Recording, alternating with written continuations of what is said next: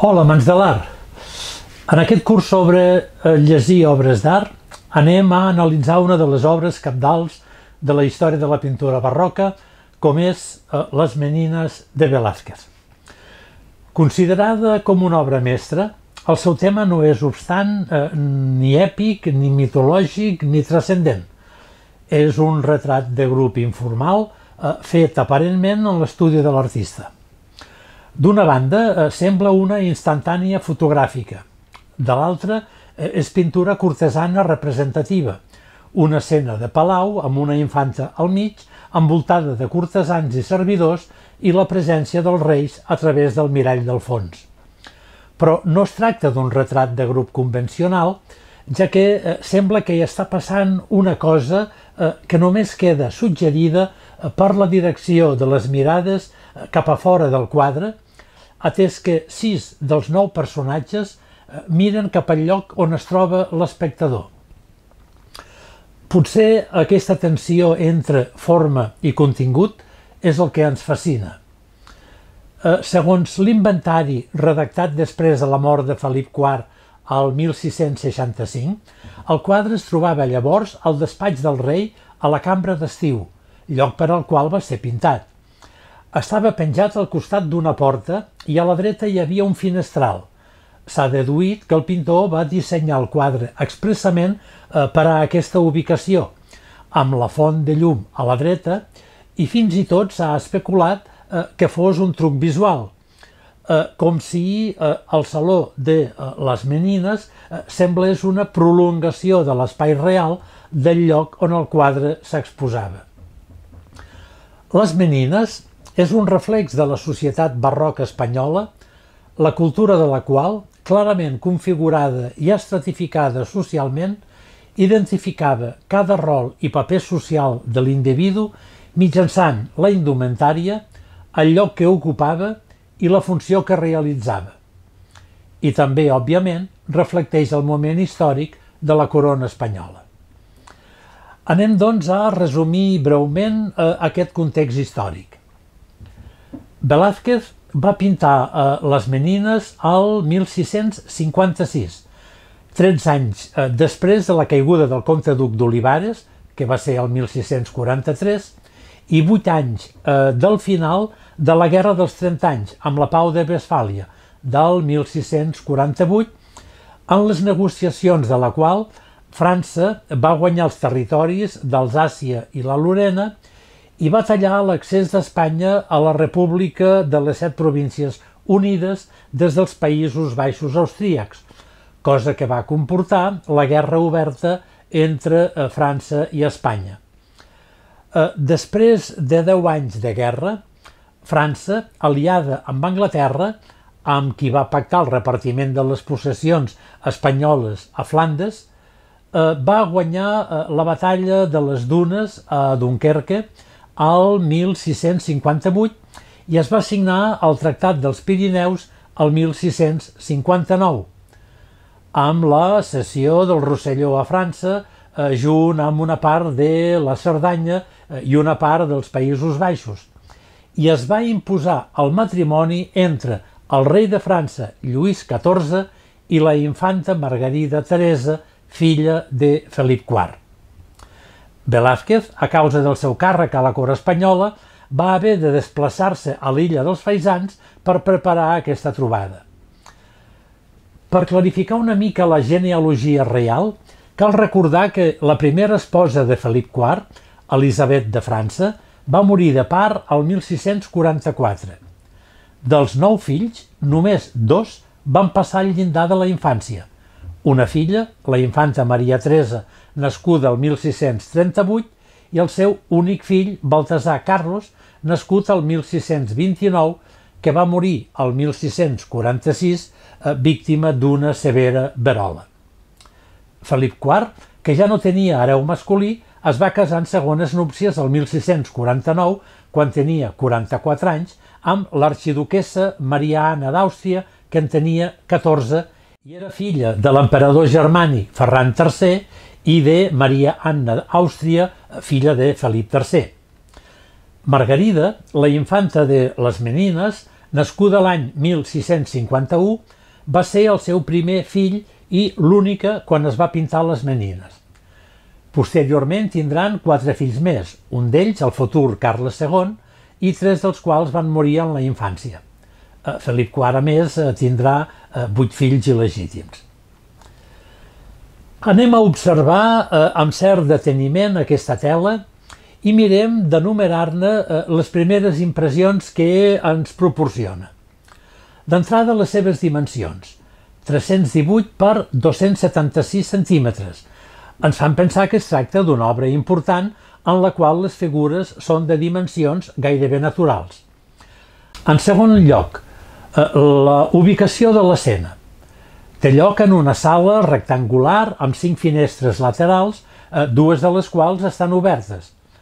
Ens pot sorprendre que tres finestres estiguin tancades en el cas que Velázquez hi estigués pintant. En tercer lloc, el tema. Sembla que es tracta d'un grup que ha anat a veure el pintor al seu taller on es troba pintant un quadre, eh, que a primer cop d'ull sembla que sigui el del rei Felip IV i la seva esposa Marianna d'Àustria. En quart lloc, la gran tela que sembla pintar Velázquez, eh, encara que sigui un element passiu en la composició, eh, ens planteja una qüestió difícil. Què hi deu estar pintant? Eh, què pot voler dir la presència d'un quadre dins del quadre? En cinquè lloc, eh, podem observar, com ja s'ha dit, que la majoria de personatges, sis dels nou, sense comptar els dos del mirall, miren cap a l'espectador. Per què aquesta direcció de la mirada?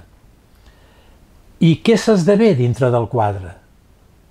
Observem el gest, les actituds i les mirades dels personatges. En conjunt domina la sensació de moviment paralitzat.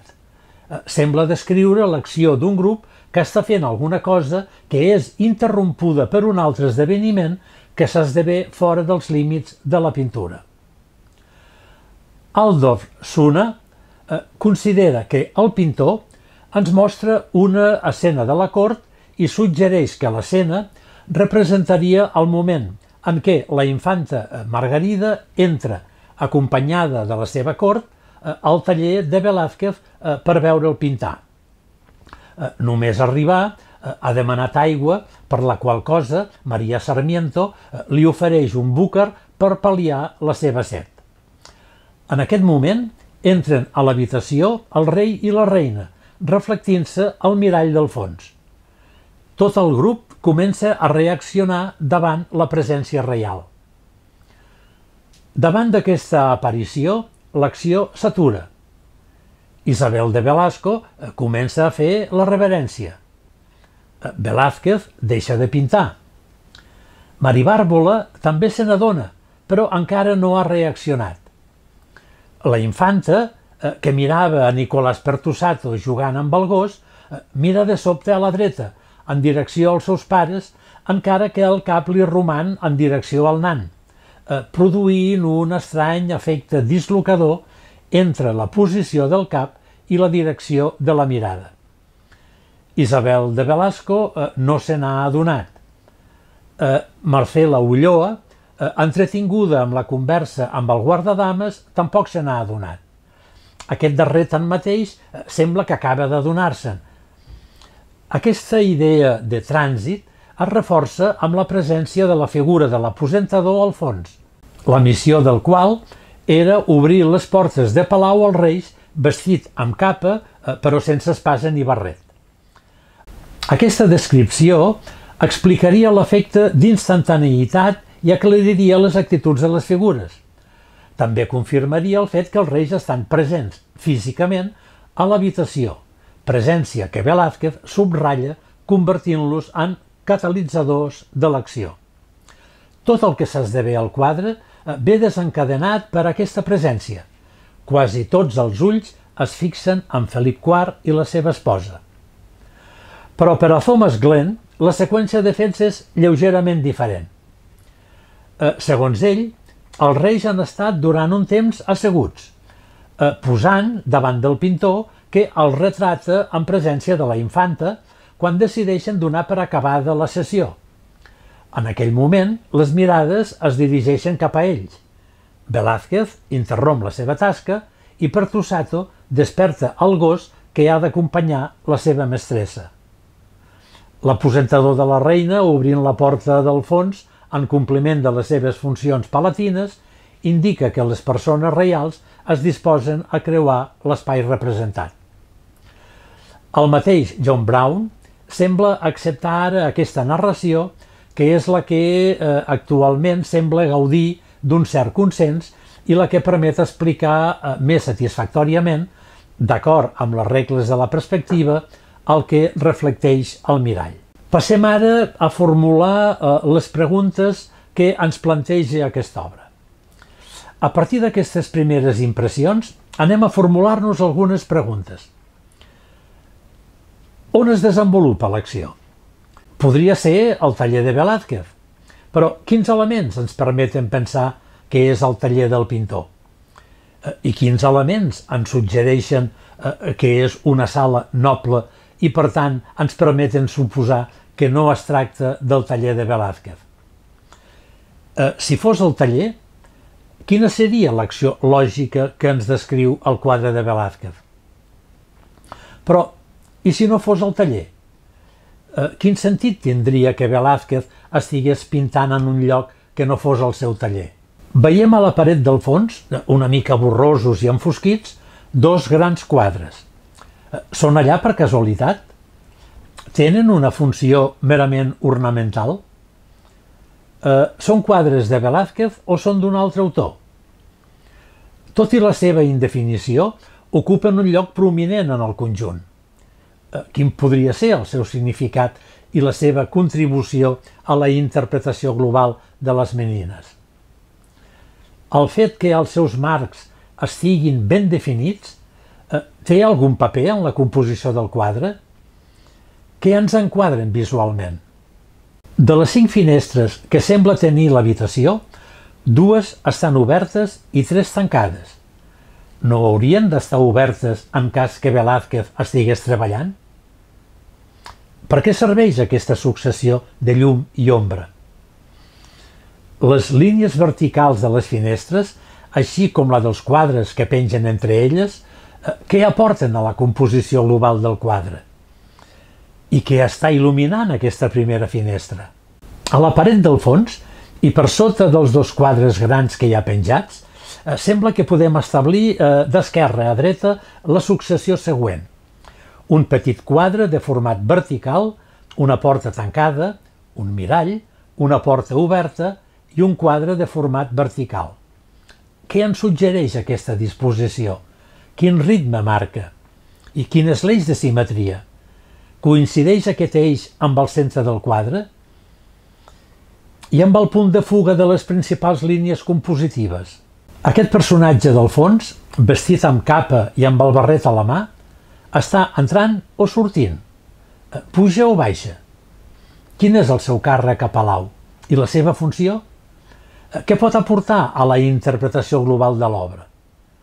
La llum del fons, engrandit pel personatge que retira la cortina, eh, què ens suggereix pel que fa a la recreació atmosfèrica i la perspectiva de la sala?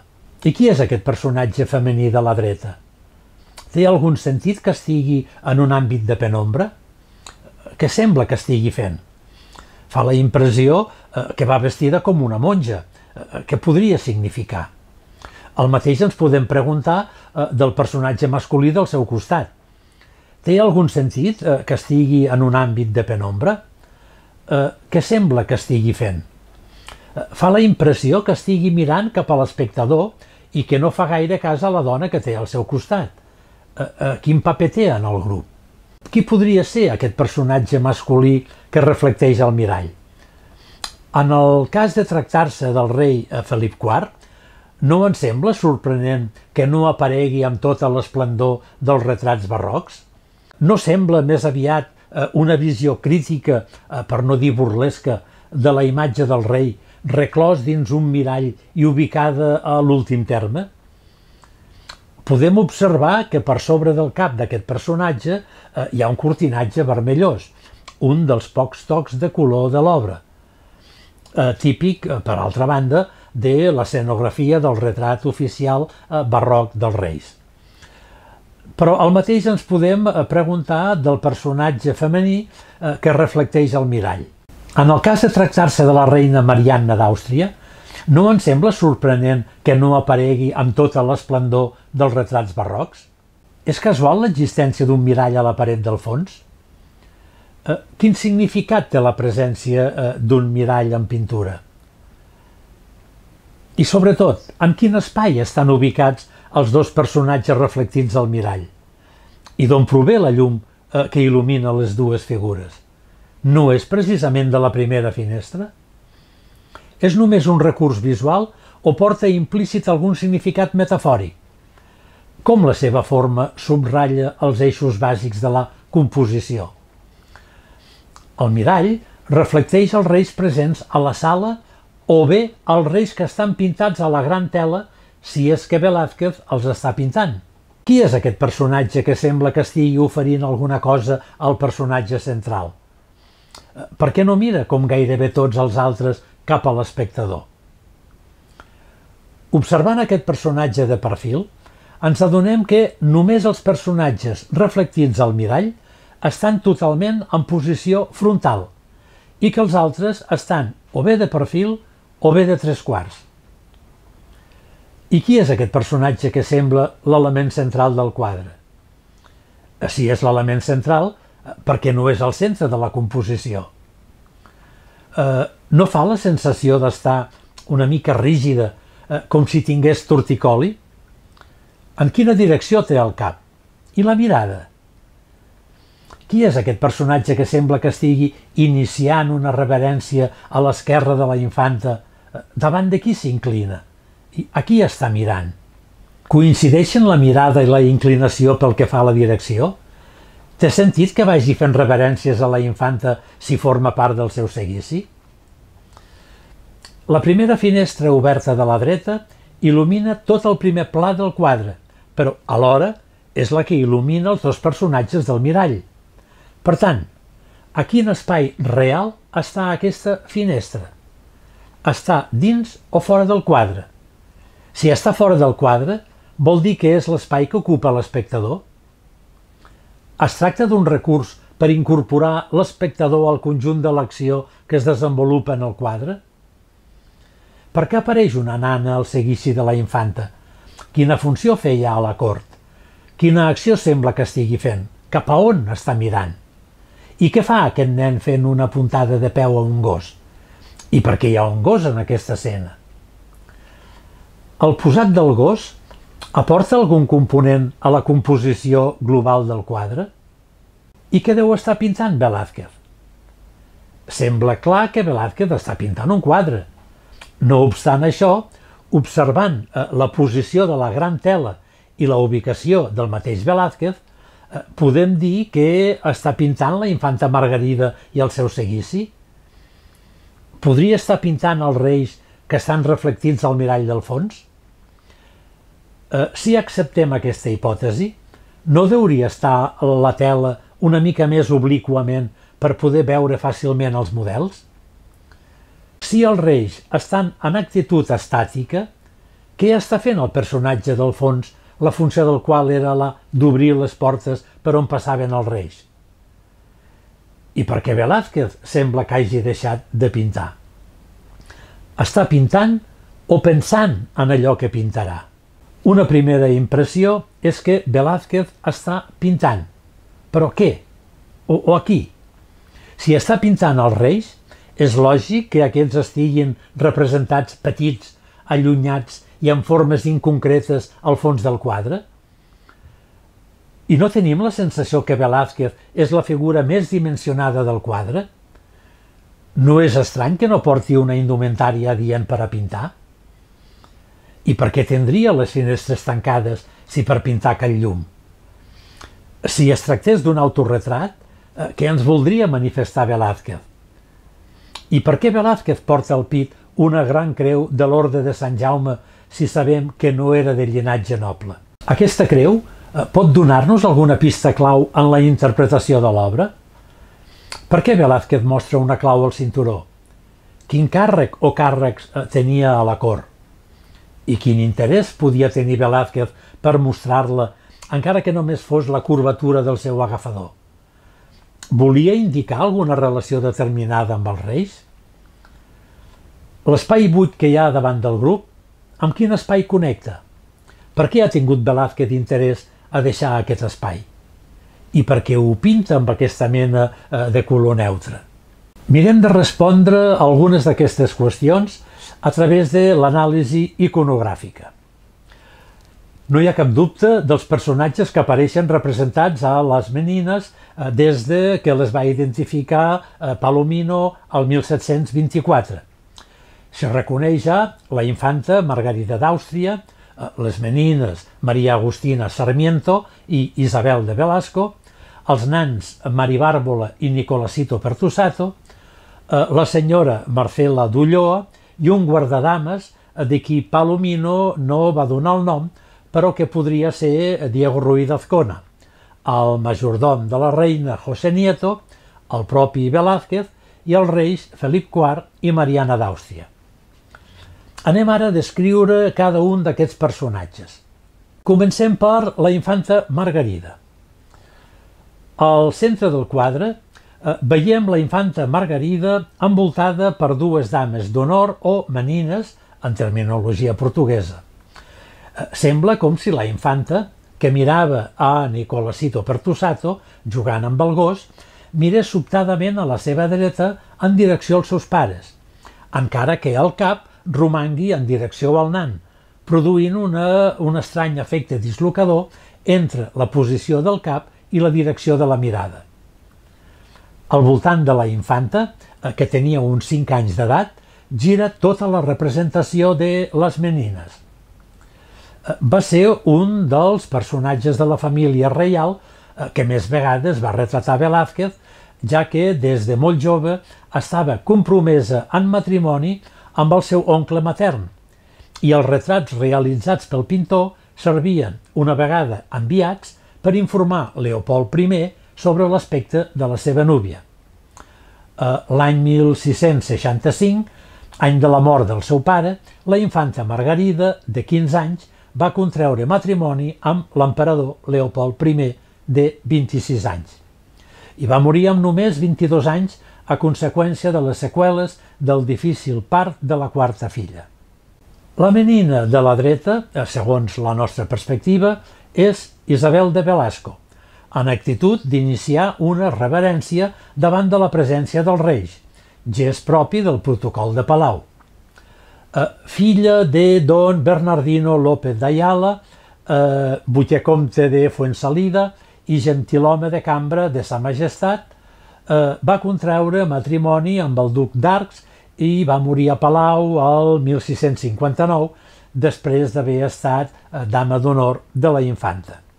La menina de l'esquerra és eh, Maria Agustina Sarmiento, filla del comte de Salvatierra i hereva del ducat d'Abrantes. Eh, va contraure matrimoni amb el comte de Penyaranda.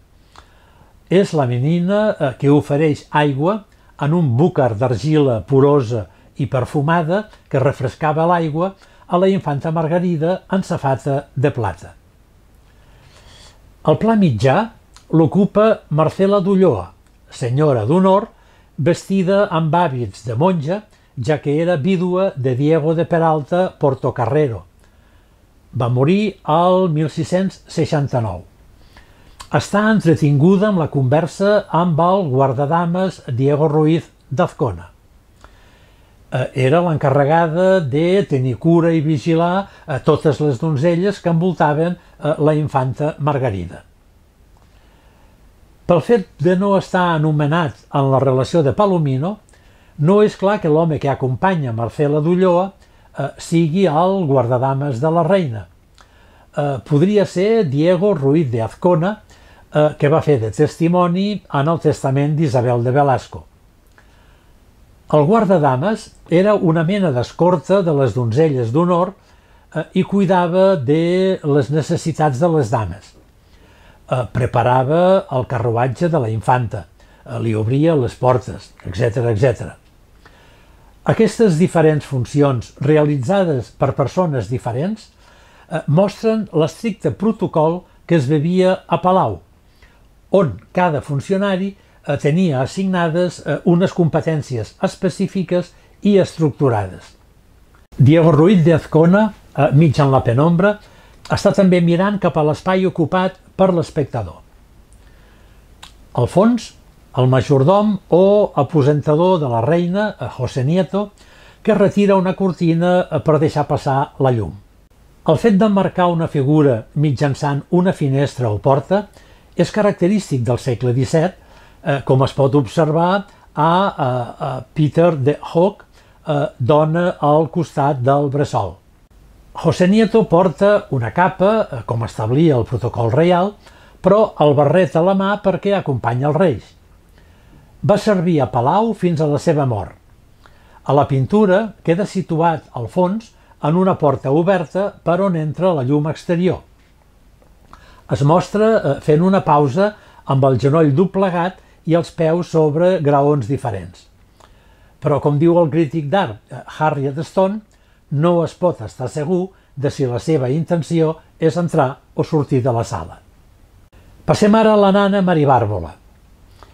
Es tracta eh, d'una nana acondroplàssica eh, anomenada Maria Bàrbara Esquin, que va entrar a Palau el 1651, any en què va néixer la infanta, i l'acompanyava sempre al seu seguici amb paga, racions i quatre lliures de neu durant l'estiu. Abans havia estat al servei de la comtessa de Villarval.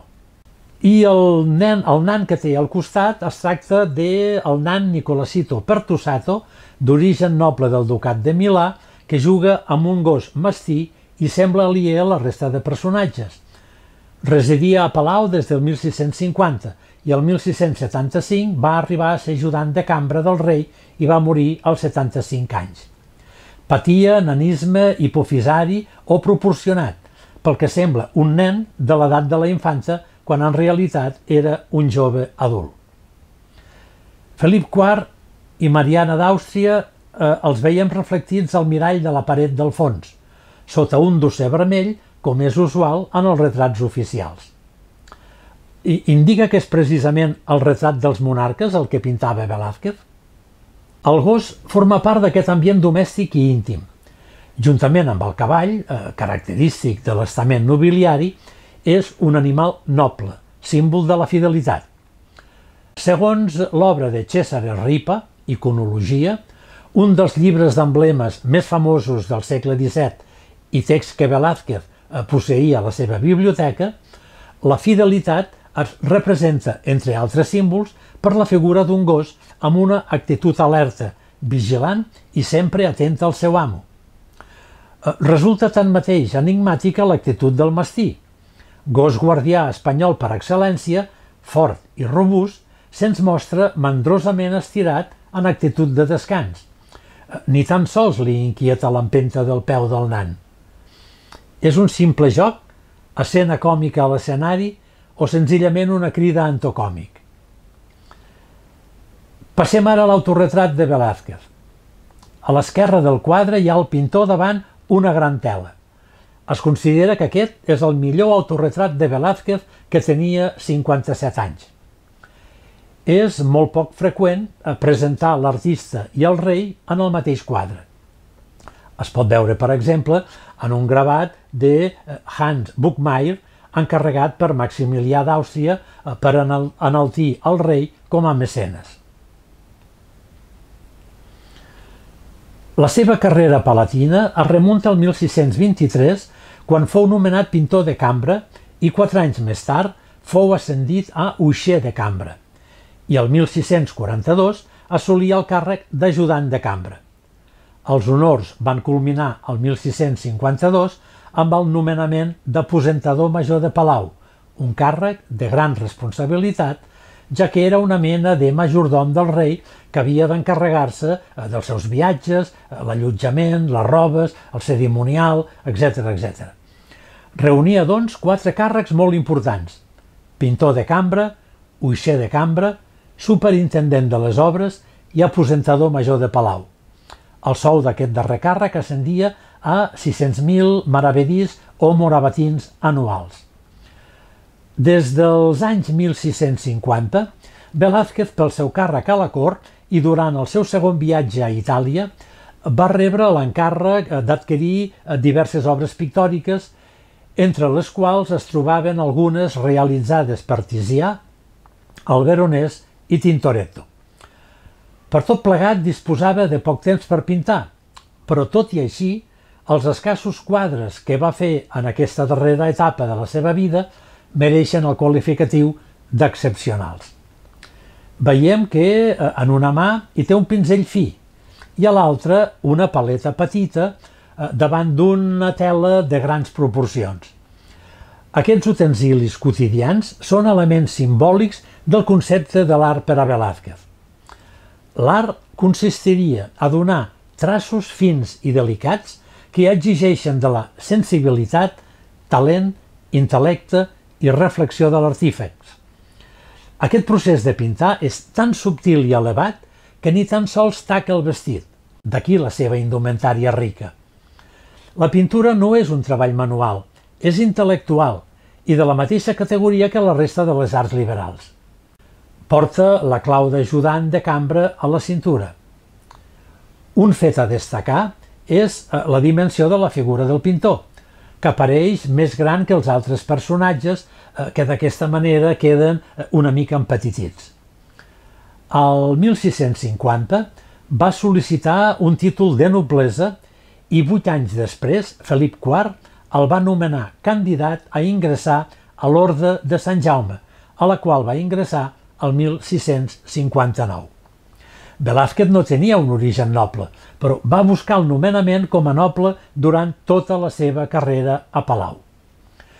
Una de les dificultats que va tenir Velázquez eh, per ingressar a l'Orde de Sant Jaume era l'exigència de puresa de sang i demostrar que no es guanyava la vida amb un treball artesanal. Eh, la idea de la neteja de sang va sorgir per diferenciar la sang pura dels cristians sense ascendència hebrea o morisca, i els diferenciava dels pagesos eh, que treballaven sota el sol. Els nobles demostraven eh, la seva puresa de sang sostenint en l'aire el braç amb la seva espasa per mostrar les venes blavoses sota la seva pell pàl·lida sense barreges amb pells fosques.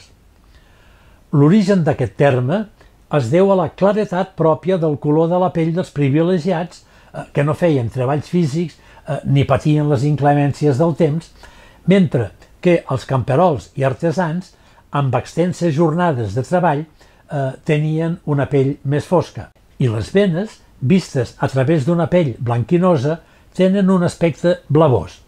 Vet aquí l'origen del terme sang blava. No va ser, eh, sinó gràcies a la intervenció directa de Felip IV i la concessió d'una butlla del papa Innocenci Desè, que se li va concedir el rang de cavaller el 28 de novembre del 1659. Un any abans, el 1658, es trobaven a Madrid, juntament amb Velázquez, els pintors Zurbarán, Alonso Cano i Murillo.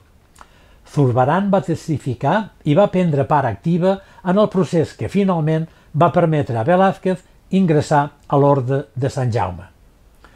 Eh, segons Palomino, la creu va ser pintada per ordre del rei després de la mort de l'artista com a forma de reconeixement al seu treball. Encara que alguns autors eh, pensen que va ser el propi pintor, que va morir, recordem, el 1660, amb el consentiment del monarca, qui va pintar l'anelada creu, atesa eh, la transcendental importància que contenia. Ara bé, el quadre portava tres anys acabat, així que l'emblema no es va poder pintar en el moment de l'execució del quadre. La creu de Sant Jaume és una creu de gules, en heràldica significa vermell intens, eh, que simula una espasa, amb l'empunyadura eh, i els dos braços acabats en una flor de lis. Eh, la lluïen els monjos soldats a les seves capes, estandards o bé al pit. Eh, la Creu de Sant Jaume és un element simbòlic d'indumentària que redefineix el discurs sobre la identitat del portador i de la seva situació en el context de l'escenari de les menines. D'aquí que tant l'obra com l'artista s'elevin a la categoria de la noblesa de l'art. Tota l'acció de l'escena s'ennobleix. L'actor pintor, la seva acció pictòrica i l'obra d'art. Artista i art es dignifiquen mitjançant la incorporació d'aquest símbol. Velázquez va ser enterrat el 6 d'agost eh, del 1660 amb el vestit i la insígnia de cavaller de l'Orde de Sant Jaume, distinció que tant va desitjar aconseguir en vida.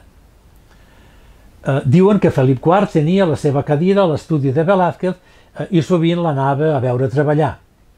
Malgrat la rígida etiqueta que regia la vida de Palau, Velázquez i Felip IV eh, semblen haver estat força units. A la mort del pintor, el sobirà espanyol eh, va escriure «Estic trencat», al marge d'un document sobre l'elecció del seu successor. Anem ara a la sala on s'esdevé l'acció. Sabem per Palomino quin és l'espai on té lloc l'acció. Després de la mort del príncep Baltasar Carlos, al 1646, Velázquez eh, va tenir permís del rei per a ocupar diverses peces de les estances que havia ocupat el príncep al Reial Alcàsser. Aquest és l'espai de treball de Velázquez i el que ocupa les menines. L'escena, doncs, té lloc a la galeria de la cambra del príncep, l'habitació més important de l'apartament del segon pis, ocupat per Baltasar Carlos, mort deu anys abans de la data de les menines. Aquesta habitació està situada al sud-oest de l'Alcàsser, Eh, recordem, destruït per un incendi al 1734, a la cantonada inferior esquerra del segon pis. Són les habitacions marcades amb els números 12 eh, i 25 del plànol de la Biblioteca Apostòlica Vaticana. A la mort del príncep Carlos, les seves habitacions van ser remodelades i es va suprimir l'envà que les separava. Si tenim present que la cultura barroca és una cultura teatral de la qual Velázquez, com a funcionari de la cort, n'estaria molt al dia i que era probablement coneixedor de les obres de eh, Calderón de la Barca, com per exemple eh, La Fiera, el Rayo i la Piedra, on s'hi feien lluances a la pintura i especialment a Darlo Todo i no dar nada, representada davant els reis al 1651 al Reial Coliseu situat al Palau del Bon Retiro, on s'hi representa un pintor treballant al seu taller, aquest tipus de referències converteix el retrat i el seu entorn en temes quotidians per al públic cortesà. Velázquez, a l'hora de concebre les menines, podria doncs percebre el seu propi taller a l'Alcàsser com un símil d'espai escènic, com una escena habitual de palau. Un pintor es troba treballant al seu taller amb diferents membres de la cort que interrelacionen entre ells i amb l'espectador en actitud poc protocolàries. I d'aquí la idea de família on Velázquez esdevé alhora observador i observat, director i actor. La llum que entra per la porta del fons permet veure la paret del fons, d'on pengen dos grans quadres. Als dos costats del mirall en què es reflecteixen els reis veiem els quadres de Pal·les i Aracne, segons una composició de Rubens, i el judici de Mides, segons una composició de Jordaens, pintats per Mazo, alumne i gendre de Velázquez. I als extrems, en format vertical, dues obres de Rubens, Prometeu portant el foc i Volcà forjant el raig de Júpiter, relacionats amb la cultura i amb la manufactura de les armes respectivament, que Velázquez eh, eh, va enfosquir per destacar la pintura com a art liberal. Al judici de Mides se'ns explica la disputa entre Marces i Apolo feta en presències de l'ignorant Mides. Aquest va jutjar que el fauna ho va fer millor que el déu. La lliçó moral és clara. Els que tenen corromput el judici estimen sempre més les coses terrenals del fauna, Màrcies, que les celestes, Apolo. A Pales i Aracne s'explica com Aracne, que es creia la millor en l'art de teixir, va voler competir amb Pales, deessa de les arts, a qui no va poder vèncer, i com a càstig va ser convertida en aranya. La lliçó moral és, per més excel·lència que sembli que tenim, no ens hem d'igualar amb els déus, de manera que, per no reconèixer-ho tot de la seva bondat, ens castigui. Totes dues són mites que simbolitzen la victòria de l'art diví sobre l'artesania humana o la victòria de l'art veritable sobre la imperícia. Els dos mites expressen el triomf de l'art sobre l'artesania i els oficis manuals, considerats secundaris i indignes d'un cavaller. És el càstig de l'artesà que es creu comparable a l'artista diví. Tots dos mostren que el talent de l'expressió artística és l'expressió d'un principi diví, d'un do diví. Aquests dos quadres són comentaris que expliquen l'actitud que el mateix Velázquez ha volgut conferir al seu retrat. Els artistes de l'edat mitjana i de començaments del Renaixement tenien el costum de representar el mateix moment en què estaven ocupats en l'execució manual de les seves obres. El pintor pintant, l'escultor esculpint, inclinats amb humilitat sobre aquests treballs. En temps de l'alt renaixement, en paral·lel amb l'elevació de la importància social de l'artista, es veuen per primera vegada retrats en què els artistes es representen en una actitud noble i digna, ja no a l'hora de treballar, sinó amb l'obra acabada o amb el projecte. El treball manual considerat mancat de dignitat, deixa de ser representat. Velázquez, tot i que no es representa en el moment de l'execució material, es pinta, però, amb el pinzell a la mà, però es troba en un moment d'inspiració, concentrat en les emocions i els pensaments interiors. Es tracta d'un dels primers autorretrats d'artistes en què s'accentua el procés subjectiu de la creació en detriment de l'execució material objectiva que d'altra banda no es dissimula. És el punt de partida de les representacions del segle XVII, XVIII i començaments del XIX on s'encarna la inspiració subjectiva o la visió de l'artista. Caldrà esperar el classicisme i el realisme del segle XIX per retornar a la representació de l'execució material de l'obra d'art. Ens fixarem ara amb la petita gerra de ceràmica que la menina Maria Agustina Sarmiento li ofereix a la infanta Margarida. Es tracta eh, d'una ceràmica mexicana que solia ser ingerida per les joves de la realesa i representa eh, la influència del Nou Món en l'art europeu i els estranys costums dels nobles de l'època. Eh, d'acord amb l'historiador Byron Ellsworth Hammond, el búcar té un inconfusible eh, color vermellós que el distingeix eh, de qualsevol altre tipus de ceràmica. L'element és important no només per la funció estètica, sinó per la influència que va tenir el continent americà en l'art europeu de l'època. La ingesta de búcars era un hàbit dels nobles de l'època, és a dir, menjaven fang cuit. Però per què? Els búcars, o gerros petits, eren utilitzats per aromatitzar i refredar l'aigua. Quan les dones havien acabat el seu contingut, començaven a devorar-ne el recipient. Encara que la ingesta de la ceràmica provocava efectes secundaris, atès que provocava anèmia, cosa que impedia una bona absorció del ferro, era desitjada per una de les seves conseqüències, tenir la pell blanca, característica molt anhelada a l'època, entre altres, per demostrar que s'era de sang blava. Al fons hi ha un mirall que reflecteix els dos personatges reials. Té la finalitat eh, d'atreure l'atenció de l'espectador per obligar-li a pensar que és el més important de la composició. És una de les claus del quadre. El model més proper que tenia era una obra que hi havia a Palau, el matrimoni Arnolfini de Jean van Eyck. Eh, és una imatge reflectida en un mirall, com a la pintura de les menines, i és molt possible que s'hi inspirés Velázquez.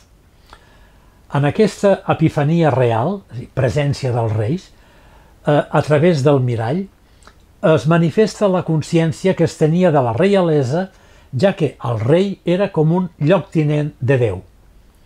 A través del mirall se'ns mostra la parella reial com un model ideal per a les infantes.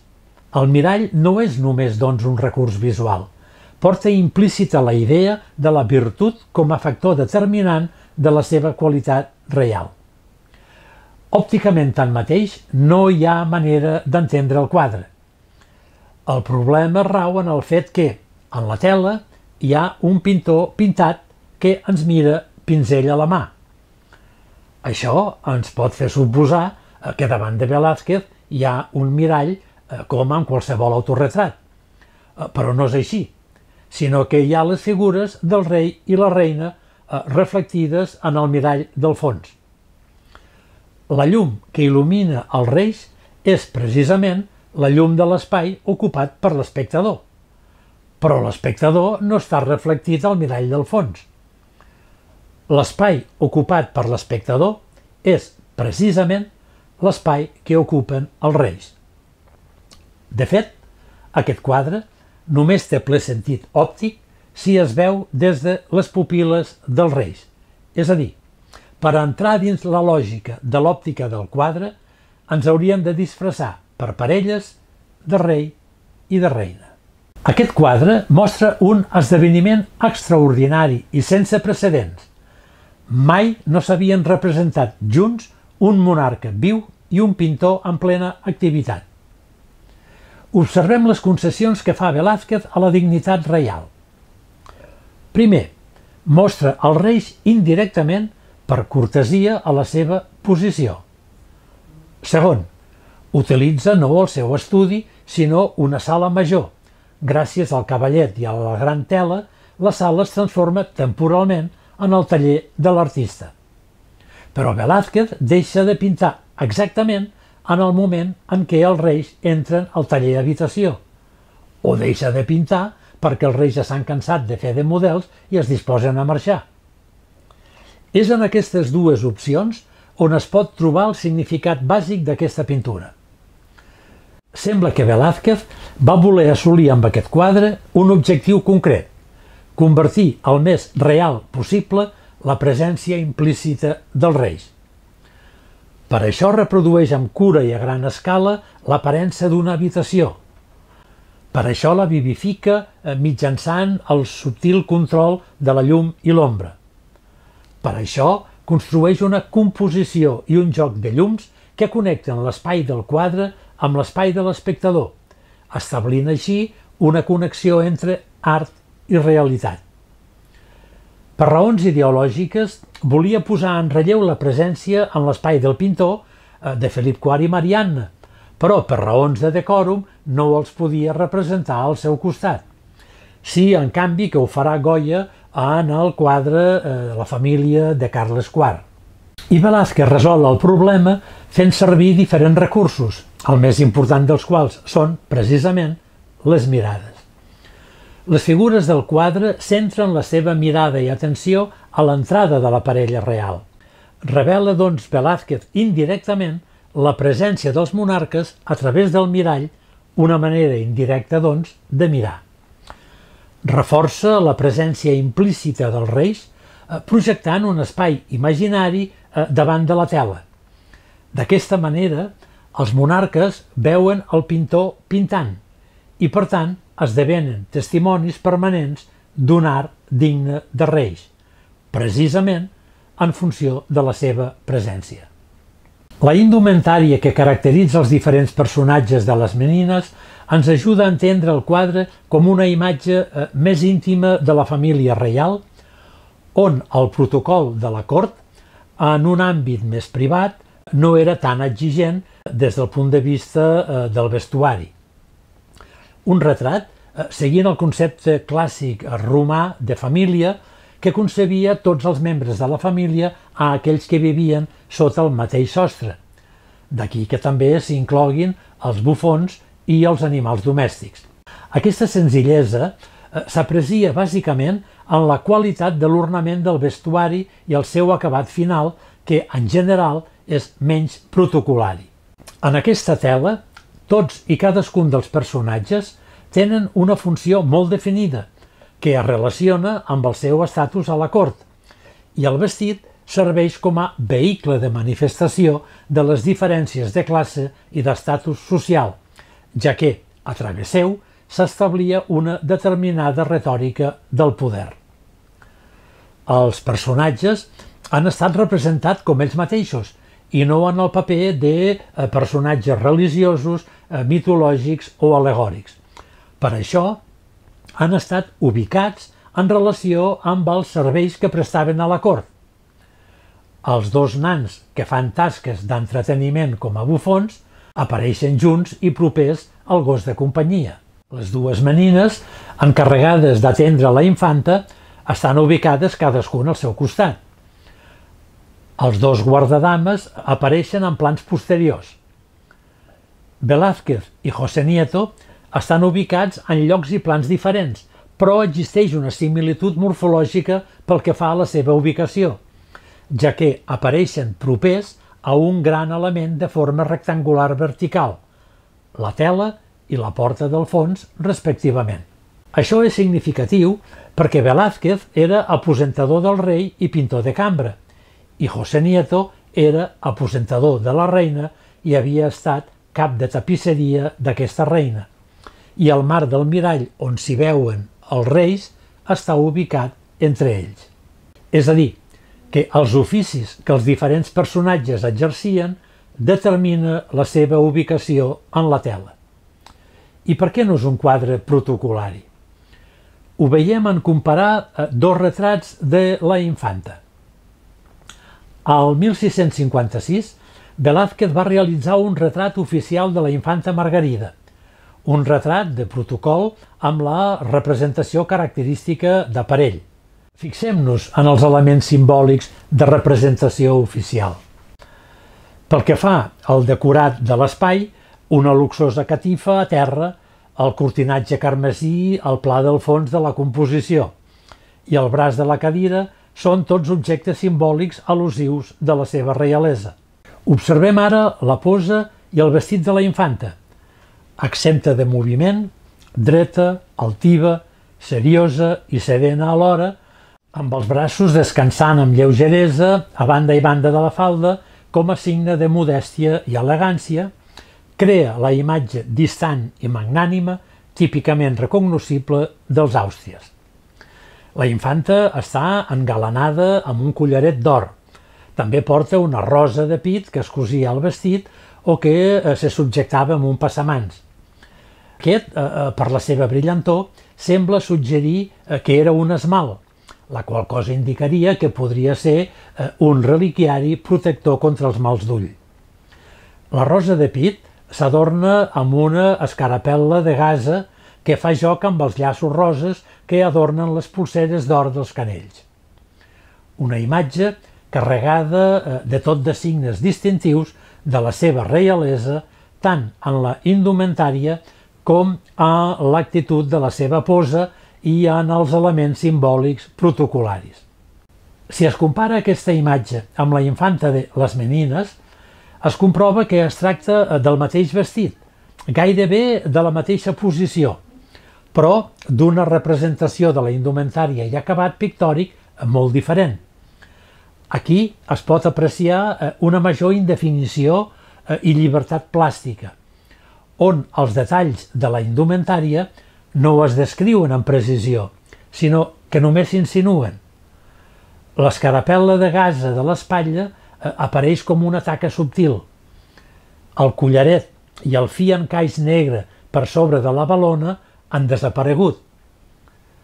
Els vells rínxols del quadre de Viena es veuen substituïts per un cabell llis que cau lliurement sobre les espatlles. En un cap que perd eh, l'estatisme hieràtic a favor d'un moviment subtil del gest i de la mirada. Tots aquests elements en conjunt eh, semblen indicar que Velázquez no buscava crear una imatge acabada amb fins protocolaris, sinó que les seves intencions estarien dirigides a pintar la família del seu rei eh, en un àmbit més privat. Velázquez, a les Menines, utilitza la imatge protocolària del quadre de Viena, però amb un tractament pictòric més sol eh, i menys acabat, allunyant-se així de la imatge prototípica d'estat i al mateix temps marcant amb claredat el seu estatus regi, distingint-la de la resta dels seus servents.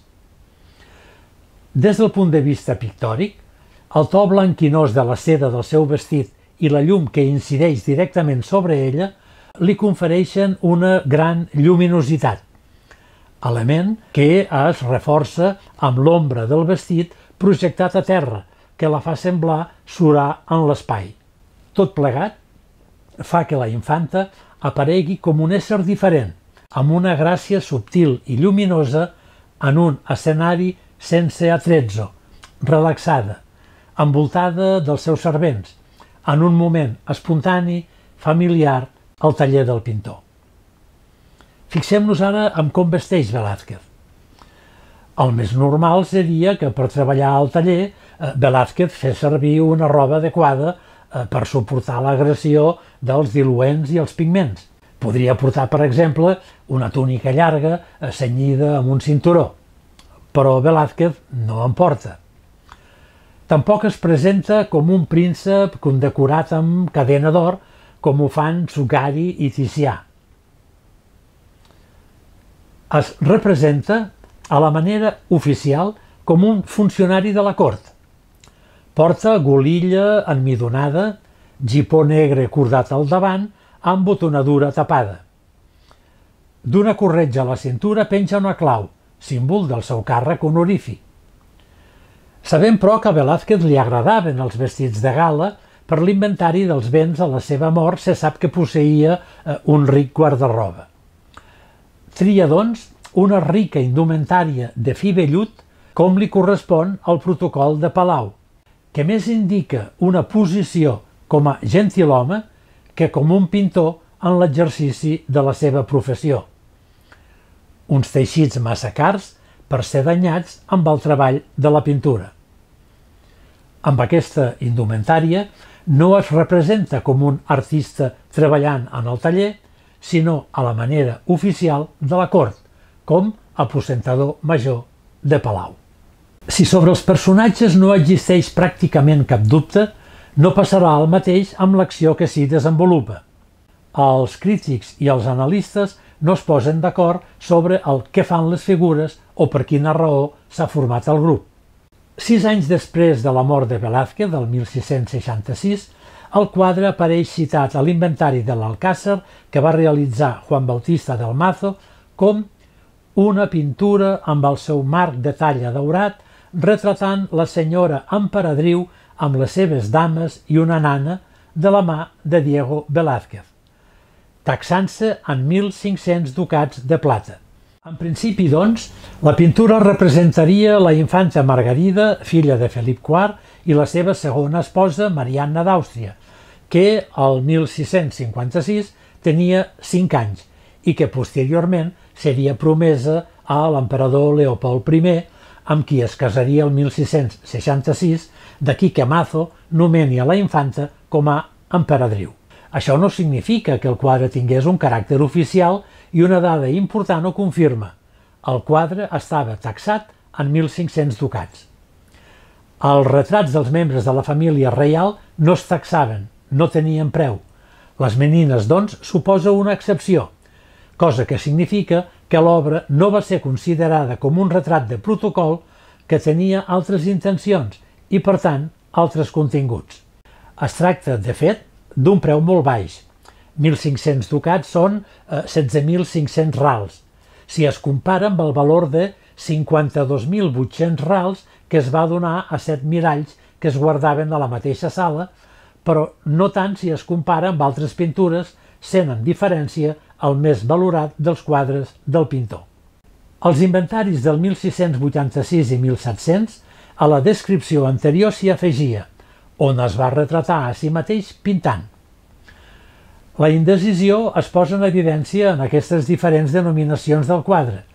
A l'inventari de 1794 apareix amb el títol de La família de Felip IV i quan se'l citava al Palau se l'anomenava La família, que el 1656 estava formada pel rei de 51 anys i la seva esposa Mariana d'Àustria de 21 anys, la infanta Maria Teresa, filla del primer matrimoni amb Isabel de Borbó, i la infanta Margarida, nascuda, com hem dit, al 1651, filla del rei i de la seva segona esposa. A la llista d'obres salvades de l'incendi de l'Alcàsser al 1734 i sent ja sobirà d'Espanya Felip V, se segueix denominant la família de Felip IV, amb una clara intenció de diferenciació dinàstica que és el mateix que tenia el 1819 en ingressar al Museu del Prado. A l'incendi que va destruir l'Alcàsser de Madrid, com hem dit, el 1734, aquest quadre va ser rescatat precipitadament. A aquest fet es va atribuir el dany a l'obra, un orifici a la galta esquerra de la infanta que va ser restaurada pel pintor reial Juan García de Miranda, el que és un indici de la importància que se li concedia a la cort. Sota els Borbons, la tela també era coneguda com la infanta Maria Teresa. Es va arribar a pensar que la infanta retratada era Maria Teresa, però aquesta tindria a l'hora de pintar-se el quadre 18 eh, anys. Sembla, doncs, un nom erroni donat durant el segle XVIII. Però es pot cometre un error d'aquesta mena amb una obra que mai no es va moure de Palau? Serà el 1843, gairebé dos segles després que realitzés l'obra, quan es començà a anomenar les menines, títol eh, una mica inadequat per al barroc, ja que la figura de la criada de Palau no seria el contingut de més importància a l'obra.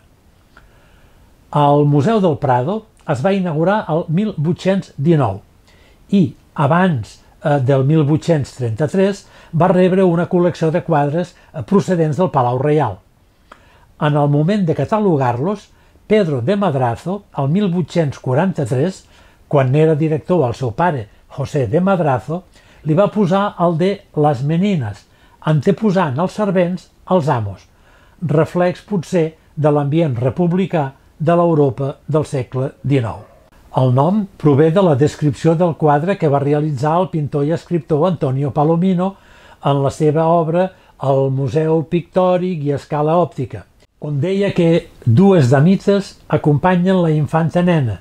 Són dues menines. Amb aquest nom, d'origen portuguès, es coneixia les acompanyants, generalment de família noble, que servien com a dames de companyia a les infantes fins a la majoria d'edat. Aquestes diferències de denominació corresponen a les percepcions sobre el quadre de les diferents èpoques. I com passa amb la majoria de les pintures de Velázquez, l'obra no està ni datada ni signada i la seva datació es recolza en la informació de Palomino i la data aparent de la infanta nascuda el 1651. Pel que fa a la tècnica amb què Velázquez pinta aquesta obra, cal destacar el primer pla, inundat per un potent focus de llum que penetra des de la primera finestra de la dreta. La infanta és al centre del grup i sembla surar, ja que no veiem els seus peus, ocults a l'ombra eh, del seu guardainfant. Les figures del segon pla queden en la semipenombra, mentre que a la part del fons eh, trobem un nou focus de llum, impactant sobre l'aposentador que retalla la seva silueta sobre l'escala. La pinzellada emprada per Velázquez és solta, treballant cadascun dels detalls dels vestits i adorns a base de pinzellades empastades que anticipen la pintura impressionista. Predominen les tonalitats platejades dels vestits, alhora que crida la nostra atenció el ritme marcat per les notes de color vermell que es distribueixen per la tela. La creu de Sant Jaume, els colors de la paleta de Velázquez, el búcar, el mocador de la infanta i d'Isabel de Velasco, per acabar a la taca vermella del vestit de Nicolasito. La seva execució respon als cànons del naturalisme. eh, hem sentit a dir a vegades eh, eh, es poden comptar els pèls del gos, eh, diuen alguns espectadors. Aquesta pintura està considerada com una de les grans obres mestres del retrat en la història de l'art, tan realista que el mateix papa la va qualificar com a troppo vero. Segons Deslier d'Argenville, a meitat del segle XVIII, Velázquez, eh, per la seva manera de tractar la naturalesa amb tanta llibertat, fou anomenat un segon Caravaggio. Les eh, menines va ser pintat sobre un suport de tela constituït amb la unió de tres bandes cosides col·locades en vertical i ben encolades.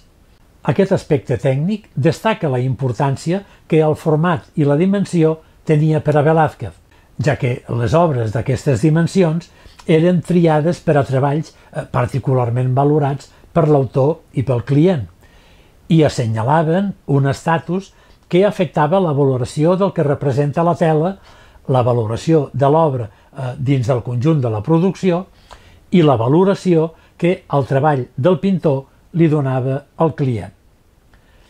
Velázquez eh, va estendre de forma ràpida i desigual, amb broxa i espàtula, la base de la pintura que en ser única serveix a l'hora de preparació i d'imprimació.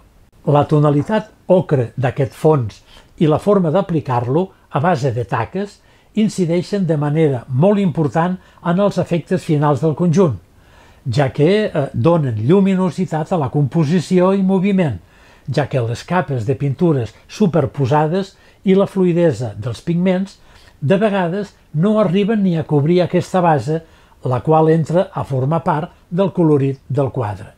La tècnica pictòrica és directa, ràpida i de gran soltesa de pinzell. Velázquez eh, treballa sempre a, a la prima, és a dir, no s'aprecia la presència d'un dibuix subjacent, només s'observen algunes línies per marcar la situació dels quadres penjats a la paret dreta.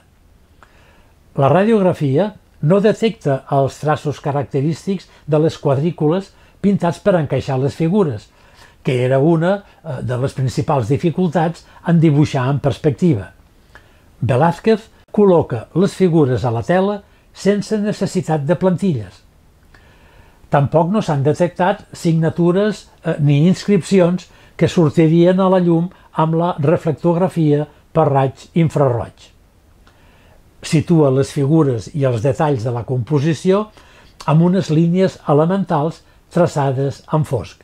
Les correccions o penediments, pentimenti, que introdueix en el transcurs de l'execució del quadre són petits, generalment eh, rectificacions en els contorns. Un dels penediments importants és la figura femenina o d'un jove amb una postura girada a la dreta i el cap girat cap a la tela, en la posició que avui ocupa l'autorretrat del pintor no té res a veure amb la fesomia del pintor, ja que el primer retratat era un personatge més jove, eh, vestit de diferent manera eh, i en una posició diferent. Alguns pensen que podria ser eh, Maria Teresa d'Àustria, filla de la primera dona de Felip IV i que no apareix en el quadre. Altres canvis els podem trobar en la cama esquerra de Nicolás Pertusato. Es nota una mena d'ombra paral·lela a la cama de Nicolásito. Això implica que, eh, originalment, Velázquez va col·locar l'extremitat en una posició que no l'acabava de convèncer i va acabar corregint-la i movent-la lleugerament a la dreta, possiblement per donar més naturalitat a la postura. O bé en la mà dreta eh, de la infanta Margarida, eh, inicialment rebutjant el búcar, i en el fet que eh, inicialment no hi havia la figura de la reina que es, es va incorporar al mirall posteriorment. Les línies aparents que podem veure des de la distància se'ns van desdibuixant segons ens apropem al quadre fent borroses les cares dels retratats, despreocupant-se de la minuciositat i de l'acabat final que tan valorat estava. El desdibuixament arriba al màxim a la imatge dels reis, que reflecteix el mirall del fons. Amb brevíssimes pinzellades el pintor ens transmet la fesomia dels retratats, els detalls dels vestits, eh, la cortina del fons i fins i tot l'efecte del mirall a través d'unes tènues transparències de blanc. Igual que el tractament de cadascuna de les figures és diferent, també ho és el de les mans. Estan més treballades aquelles que ja estan més il·luminades. La distribució de la llum la marca abans de començar a pintar l'escena, col·locant un punt de màxima il·luminació al centre de la composició, mitjançant una taca blanca de base situada sota l'aposentador que apareix a la porta que s'obre al fons. Aquesta lluminositat baixa a través de l'escala i finalment es projecta cap al costat esquerre de l'escena, amb el raig de llum que traça el pintor refregant gairebé en sec el pinzell en superfície. La paleta que sosté a la mà esquerra Velázquez eh, és una síntesi, exceptuant el blau, dels pigments que empra. La transparència dels colors l'aconsegueix amb la introducció de gran quantitat d'aglutinant a les barreges. Les seves gruixudes moltes dels pigments, les seves barreges peculiars, les seves textures, així com els seus jocs de pinzell, estan en funció d'aconseguir un conjunt harmoniós alhora que detallista dins del seu estil peculiar. La rapidesa de l'execució queda palesa en qualsevol dels adorns que porten les figures. Les joies, eh, els llaços, etc etc. Eh, s'hi superposen i es combinen els pigments, en alguns casos sense barrejar, produint l'efecte òptic desitjat. Tot i el seu aspecte d'improvisació fotogràfica, Les Menines és un quadre de composició acurada. Especialment, s'observa com la sala on hi ha Velázquez, la infanta i el seu seguici, a més d'incloure l'espectador, té una prolongació real amb la porta, una ideal amb el mirall i una imaginària amb els quadres pintats al fons. Tota l'obra està estructurada a partir de rectes verticals i horitzontals com les del cavallet, les parets, les finestres, els quadres, el mirall, la porta, les escales, sobre les quals es superposen dues corbes irregulars i equivalents, una formada pels caps del pintor Maria Agustina i la infanta i l'altra dibuixada per Isabel i els nans, responent totes dues a la silueta del gos. Un conserge i catalogador del Prado ja afirmava el 1828. Composició sàvia i enginyosa, dibuix natural i correcte, quadre admirable pel colorit i per l'efecte de la llum.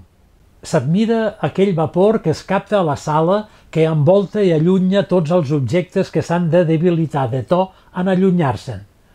Només ell podia atrevir-se a posar un forat clar al mig de la composició d'una llum tan viva que fa brillar la porta l'escala i la persona que hi puja, amb una veritat que fa dubtar si és cosa pintada o si és la mateixa naturalesa que s'està mirant. Aquest quadre és un prodigi en les dues perspectives, lineal i aèria. La meitat inferior de la tela és plena de personatges en dinamisme contingut, mentre que la meitat superior està imbuïda en una progressiva penombra de quietud. Els quadres penjats de les parets, el mirall, la porta oberta del fons, són una successió de formes rectangulars que formen un contrapunt als subtils jocs de color que ocasionen les actituds i moviments dels personatges. La composició s'articula repetint la forma i les proporcions dels dos trios principals, Velázquez, Agustina, Margarida per una banda i Isabel, Maribàrbola Nicolasito de l'altre, aconseguint una naturalitat que li dona aquest aspecte de seqüència improvisada captada fugaçment. Molts artistes del Renaixement van fer servir la, la secció àurea en els seus dibuixos, com ara Leonardo da Vinci.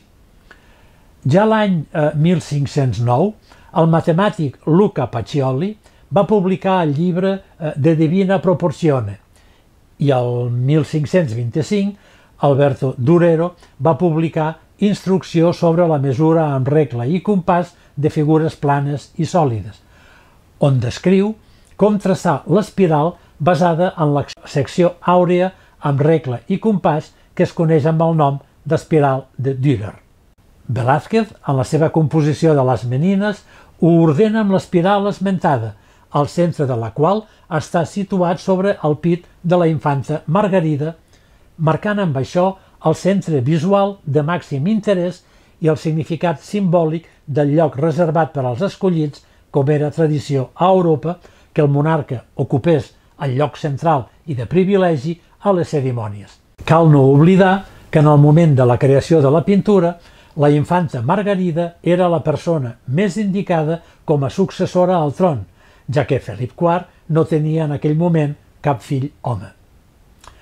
Un espai el configura el punt de fuga de la perspectiva rere la porta on es troba José Nieto.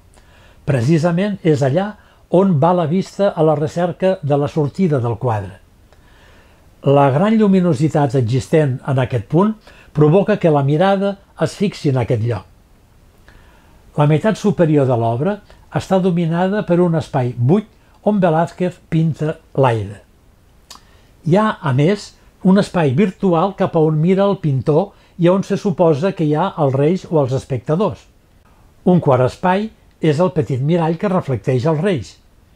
I finalment, hi ha l'espai delimitat per la llum daurada que s'aprecia en les figures de la infanta, les menines, la nana i el gos. Són espais reals i virtuals que conformen la realitat fantàstica del quadre.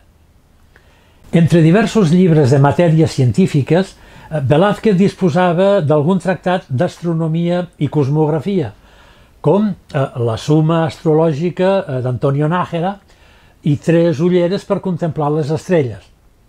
Això ha donat peu a especulacions sobre la simbologia astrològica de les menines. S'especula que, unint amb una línia imaginària el cor o els caps de les cinc figures principals, Velázquez, Eh, la menina Agustina Sarmiento, la infanta Margarida, la menina Isabel de Velasco i l'aposentador José Nieto, es pot reconstruir el dibuix de la constel·lació Corona Borealis, l'estrella central de la qual es diu Margarida Coronae, com la infanta que ocupa també el lloc central al quadre. A més, traçant un cercle entre aquests personatges i afegint línies cap als personatges secundaris, s'obtendria el signe de Capricorn, que era el signe zodiacal de la reina Marianna d'Àustria.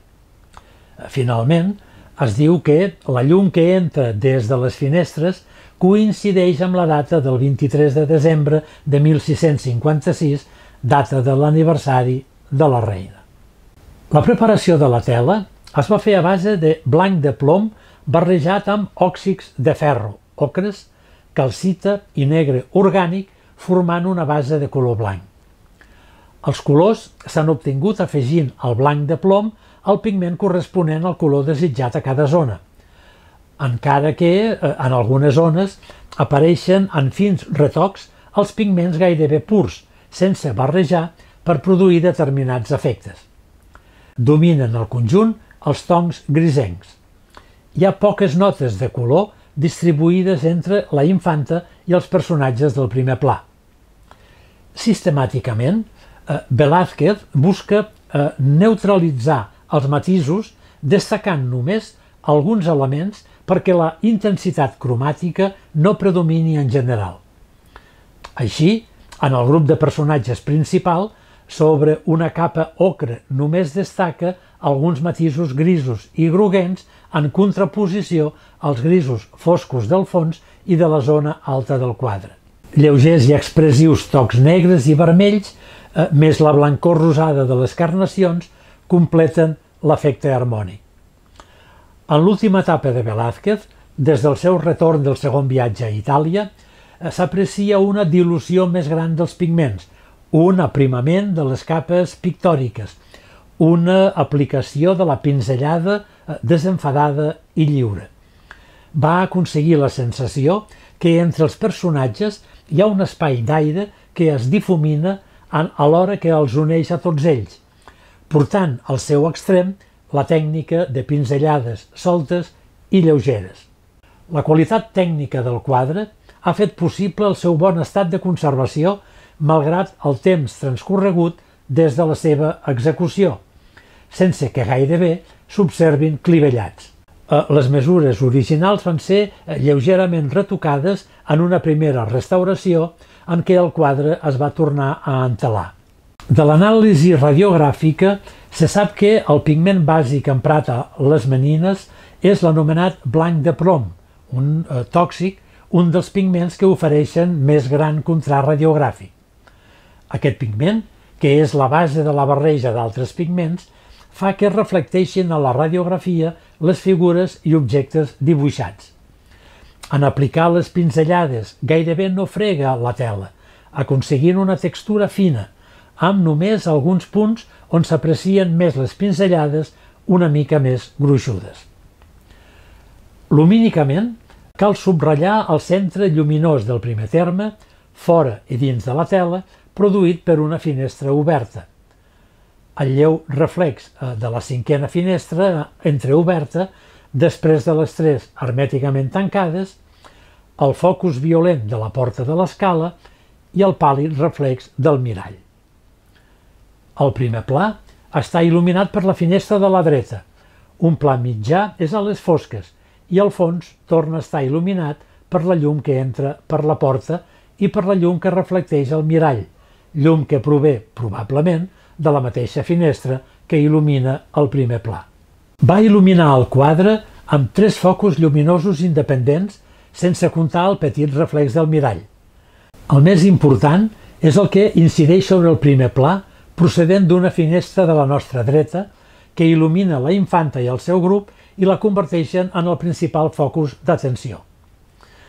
L'ampli espai que hi ha al darrere es va diluint en penombres fins que al fons un nou i petit focus lluminós irromp des d'una altra finestra lateral dreta, la resplendor de la qual incideix sobre el sostre i la zona del darrere de l'habitació. El tercer focus lluminós és el fort contrallum de la porta oberta a la part frontal del fons on es retalla la figura de José Nieto, i des d'on la lluminositat es projecta des del fons del quadre cap a l'espectador, formant-se així una diagonal que el travessa en sentit perpendicular. L'entrecreuament d'aquesta llum frontal de dins a fora i les transversals al·ludides forma diferents llocs lluminosos creant una il·lusió de plans superposats en profunditat de gran versemblança. La degradació de la llum va del centre a la perifèria. El vestit de setí blanc i el roseda dels cabells de la infanta reflecteixen el màxim de llum, alhora que els vestits de les menines, vellut verd fosc a l'esquerra i seda grisenca a la dreta, impliquen menys focus de llum. Més apagats encara són els personatges de la perifèria, els nans amb vellut blau fosc i vermell i els personatges del tercer pla en negre. El personatge de la infanta està pintat en clar sobre un fons fosc i, contrastant-hi, l'aposentador forma una silueta fosca que es destaca sobre un fons clar. Passem finalment a les diverses lectures i interpretacions. Com diu Víctor Stoichkita, la interpretació de les menines és una empresa perpètua sense possible final. S'han plantejat diverses interpretacions eh, sintetitzades per eh, Jonathan Brown en tres grans corrents. La realista, cronològicament la primera, defensada per Stirling Maxwell i Carl Justi, posava l'accent en la fidelitat del moment captat, amb què el pintor s'anticipava al realisme de la fotografia valorant els mitjans tècnics emprats.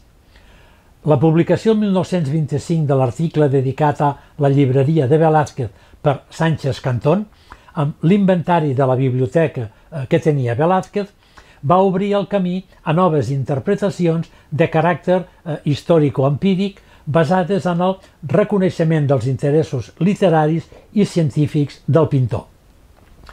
La presència de la biblioteca del pintor, de llibres com Els emblemes del Chiato o la iconologia de Cesare Ripa, va estimular la cerca de significats ocults i continguts simbòlics. Amb Michel Foucault i el postestructuralisme neix el darrer corrent interpretatiu de caràcter filosòfic. Foucault destaca la iconografia i la seva significació i prescindeix de les dades històriques per explicar aquesta obra com una estructura de coneixement on l'espectador es fa partícip dinàmic de la seva representació. Aquestes han estat algunes de les opinions que s'han versat sobre el quadre. El pintor barroc eh, Luca Giordano, al 1700, va dir que era la teologia de la pintura. L'escriptor Théophile Gautier, al segle XIX, a la vista de la pintura va exclamar la famosa frase «On és el quadre?».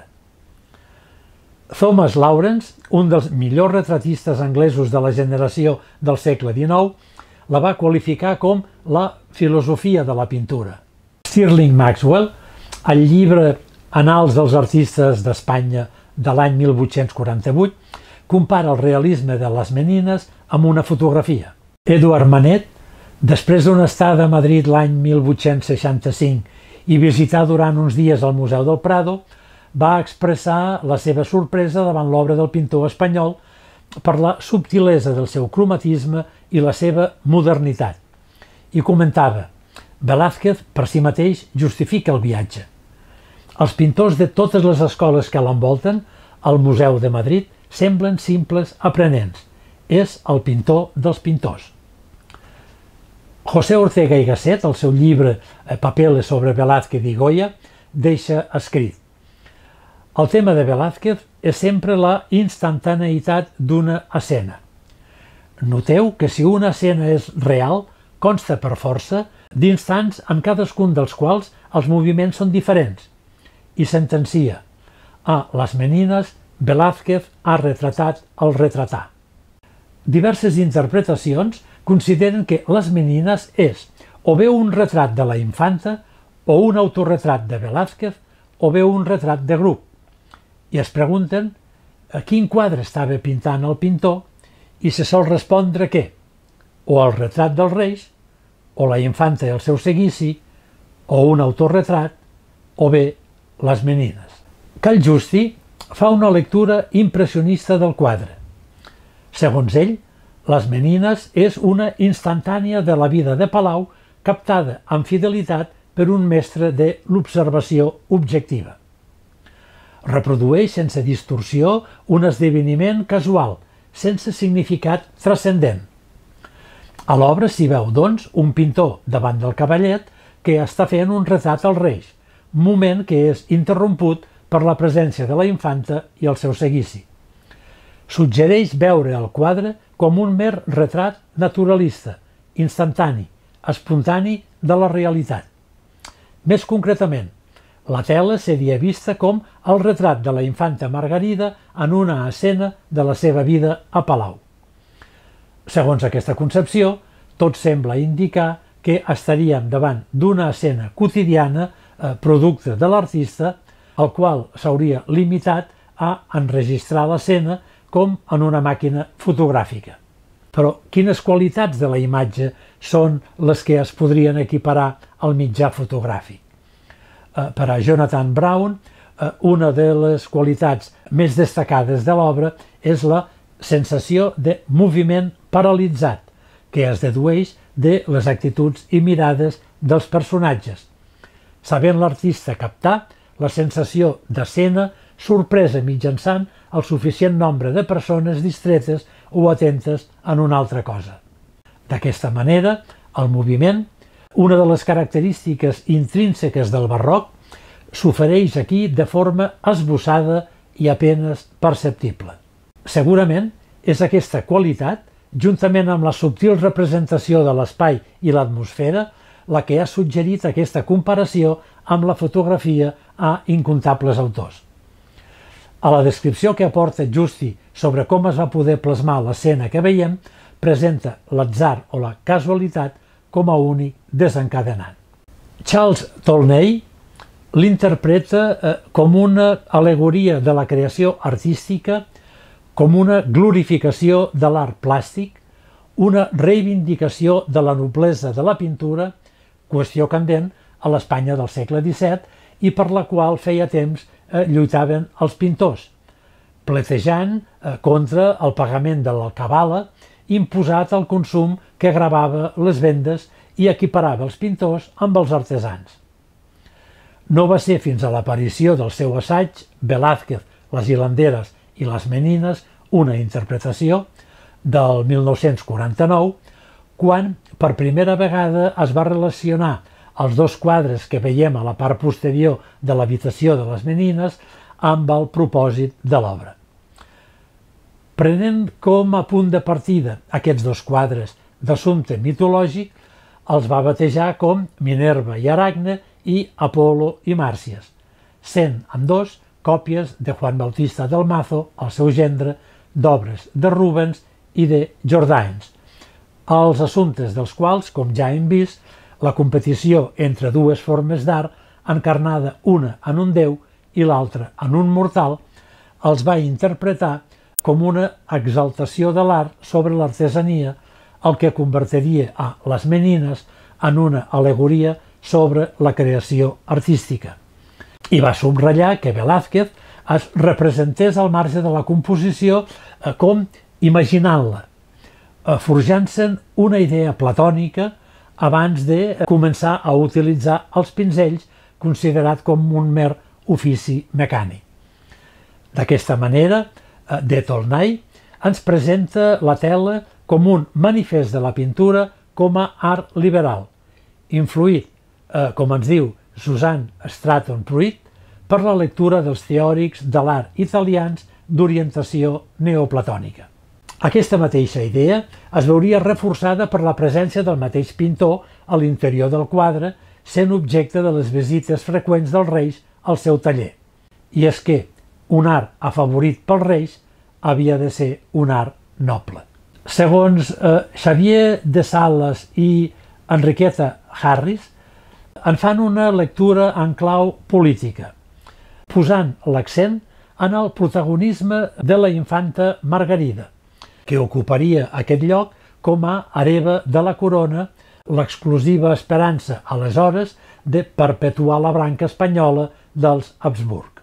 S'ha dit sovint que l'escena de les menines explica que la infanta Margarida, acompanyada del seu seguici, irromp en el taller de Velázquez, mentre aquest retrata els reis, les figures dels quals veiem reflectides en el mirall de la paret del fons.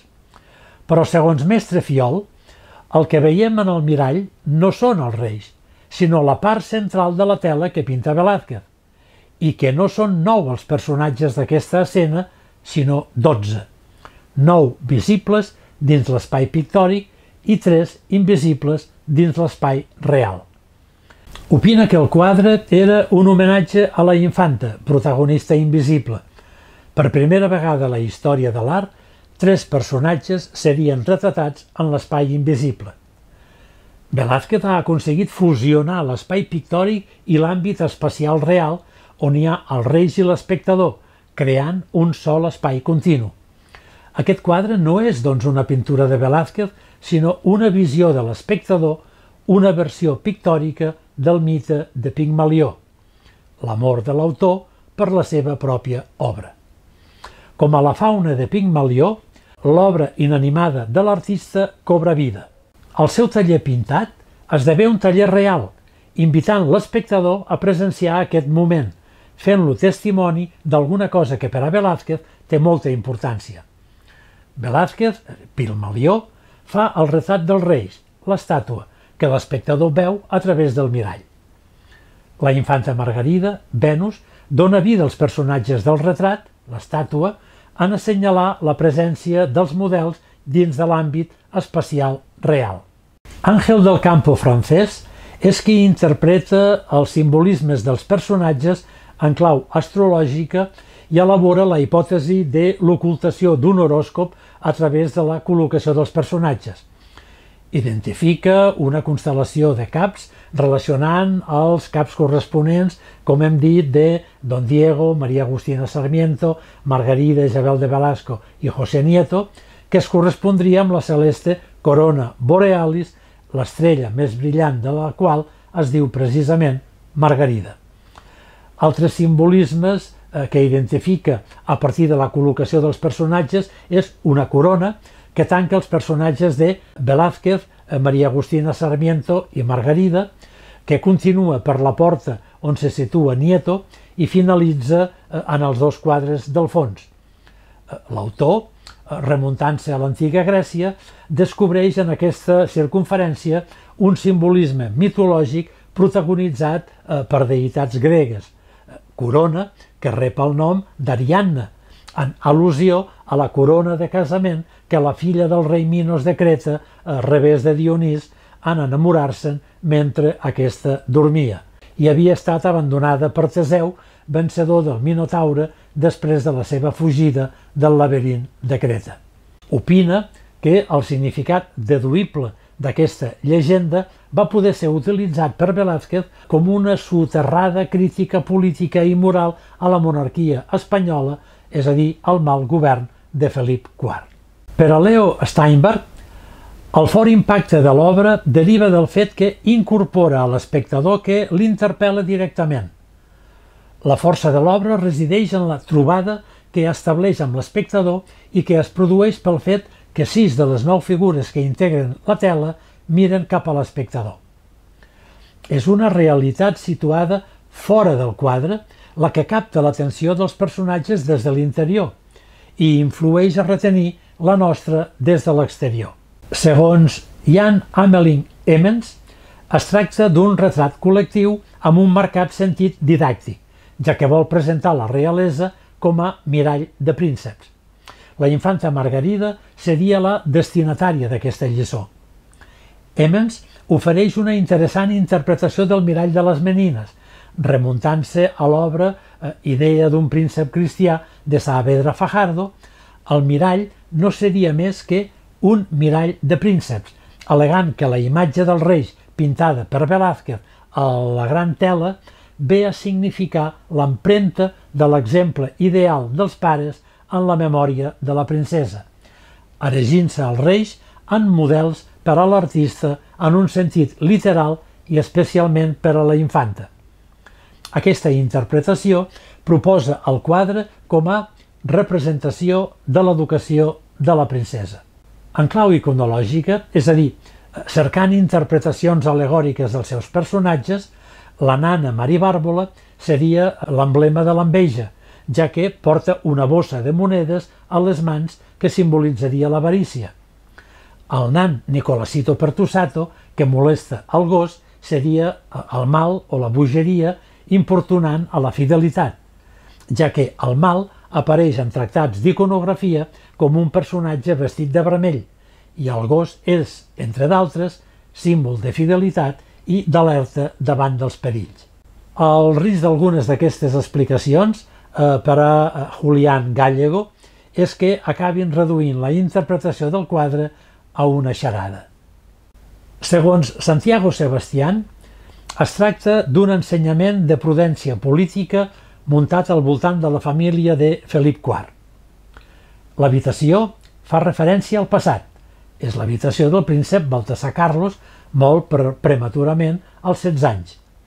La infanta Maria Teresa representaria el present i encara que no surti al quadre, estaria contemplant l'escena muntada per Velázquez com si fos un espectacle intemporal. Ella ens dona la clau de la interpretació política del quadre. La infanta Margarida representaria el futur. Però aquest programa de prudència política va fracassar. Els successius fills i filles de Felip IV i Mariana d'Àustria, la infanta Maria Ambrosia de la Concepción, eh, Felipe Próspero de Àustria, Fernando Tomás Carlos, van morir prematurament. El 1661 va néixer el futur Carles II, dit l'encantat, l'hechizado, darrer monarca de la dinastia dels Àustries. Per a Jonathan Brown, tot sembla indicar que Velázquez es va proposar demostrar l'elevat estatus social del seu art i les seves nobiliàries aspiracions personals. Aspectes recolzats per la visita dels reis al seu taller. Per a fonamentar aquesta intenció, recorre a descriure'ns el context de l'Espanya en la qual Velázquez pinta el quadre.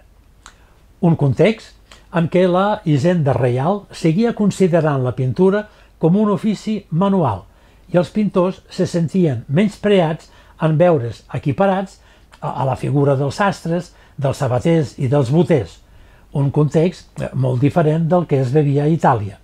I recorre també a descriure'ns els anels cortesans del pintor i la dura lluita que va emprendre en el seu ascens al servei reial i condició nobiliària. I quins elements suggereixen aquestes aspiracions? D'una banda, la clau mestra que ostenta Velázquez de la cintura, clau que obria totes les portes de Palau, incloses les del rei, com a símbol eh, del seu alt càrrec com a aposentador del Palau i de l'especial relació existent entre ell i el rei. Eh, d'altra banda, interpretant el quadre dins del context específic eh, de l'il·lusionisme barroc. Ens diu que Velázquez, en reproduir acuradament i a gran escala l'aparença d'una habitació, buscava establir la connexió entre art i realitat. Mètode que Jonathan Brown identifica amb una finalitat concreta, fer tan real com sigui possible la presència implícita del rei i la reina i en no poder representar els reis al seu costat, va recórrer a la seva presència indirecta a través del mirall. L'exaltació de l'art de la pintura vendria donada per la presència del rei. El rei enalteix el pintor anant a veure'l treballar al seu taller. Esmenta també la interpretació dels dos quadres de la paret del fons com una al·lusió a les seves aspiracions, així com la creu de l'Orde de Sant Jaume que porta Velázquez al pit. En l'estudi de John eh, Moffitt eh, se centra en la manera com va ser realitzada la representació arquitectònica del quadre i la col·locació de les figures. Destaca eh, la precisió aconseguida per l'artista en cada detall. La reproducció de l'habitació, els objectes i personatges és tan minuciosa i alhora precisa que fa suposar l'ús d'un aparell de còpia mecànica, com la càmera fosca, sense la qual aquesta documentada fidelitat hauria estat, en certa manera, impossible.